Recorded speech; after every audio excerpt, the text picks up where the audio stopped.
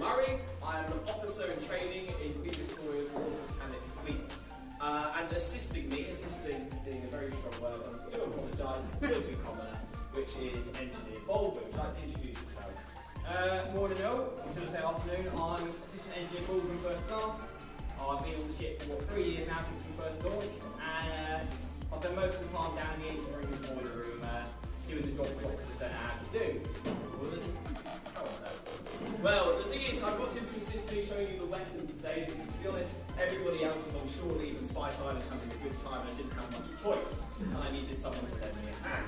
Now, he is a sort of commoner, so if you don't understand him, I do apologise, and if he smells too bad, you can stay a little bit further away. Now, today we're talking about small arms. Now, the reason why we call it small arms is not just because we're walking around with tiny arms, it's because they're a lot smaller than our large arms, which are the guns, otherwise known on the land as cannons, which we'll see behind you. Small arms range from uh, sort of revolvers, muskets, cutlasses, swords, which we're going to go through all today. Which basically means the best way to kill people easily the best subject. You don't learn this sort of thing in school. So, what we're going to start with is this. Now this is a tomahawk hatchet, or a rigging tomahawk. Now we started with this one because technically this is not a weapon, it is a tool. And the clue is in the name, it is for rigging.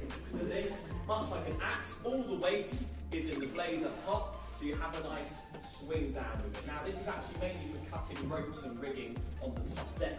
But the reason why we include this in the small arms demonstration is as you can imagine, you're happily cutting away at the rigging and you suddenly get boarded by a French ship and a Frenchman is running at you and you just gave him a smack round the head with this, it is still going to do a lot of damage.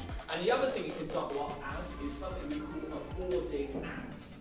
Now boarding is when you go as close as you can to the enemy ship, incapacitate it so that it can't sail away, and then your marines and your men will jump on board and try and take the ship because it's uh, cheaper and easier to steal a ship and change the flag than to build your own.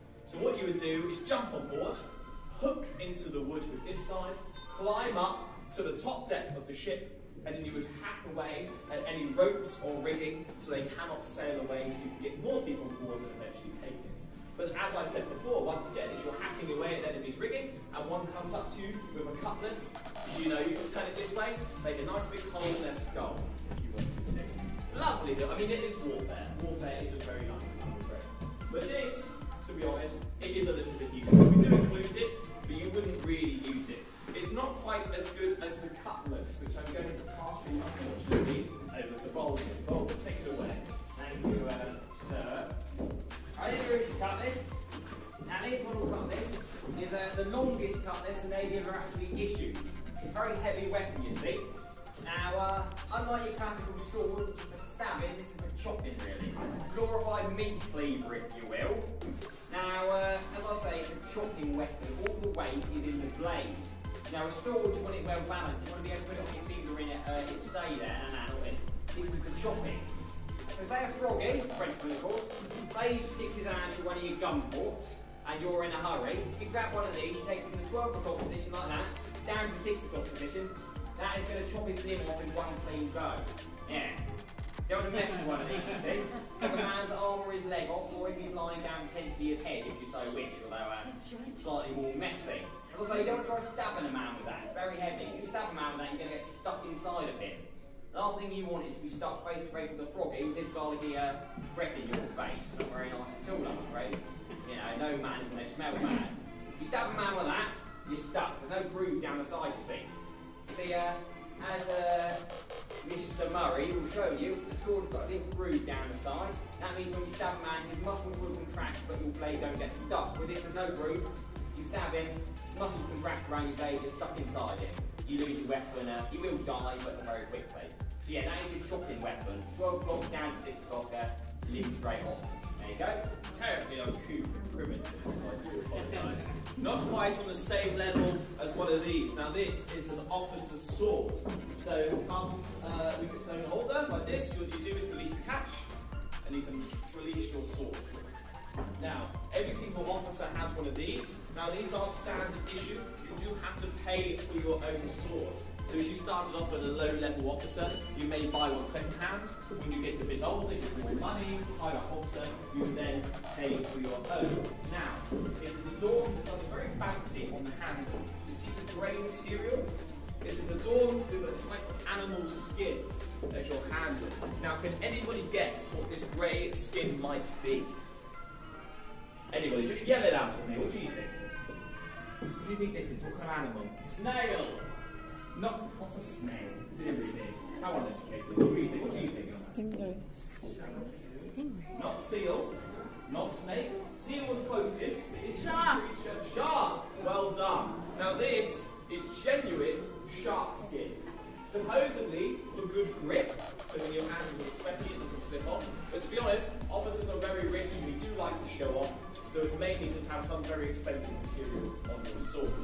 Now on the top, you do have the lion's head to show that this is an English sword, because everybody knows the lions are English.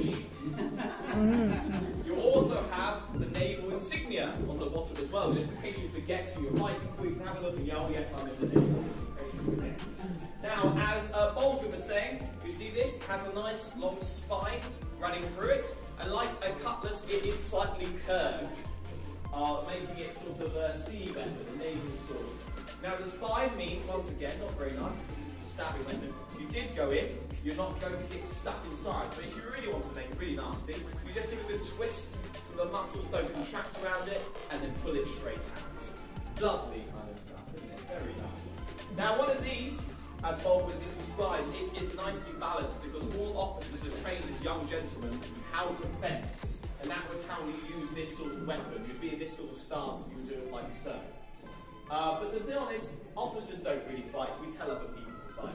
We, you know, you'd actually much rather, to be honest, as much as I hate to admit it, have a cutlass. If you went up against a cutlass with one of these, a strong cutlass would just probably break through one of these. Uh, so on board this ship, these are mainly for ceremony. Only really have it on you when there's high up officers aboard and you do a special salute. So you hold your sword next to you, place it to your lips to show that you respect your sword, then place your sword forward to show that you will do anything to fight for Queen and country, then you'll surrender your sword to show you won't do anything to fight against Queen and country. But that is really your sword. It's very good for uh, close combat, but not very good for long range. Which leads me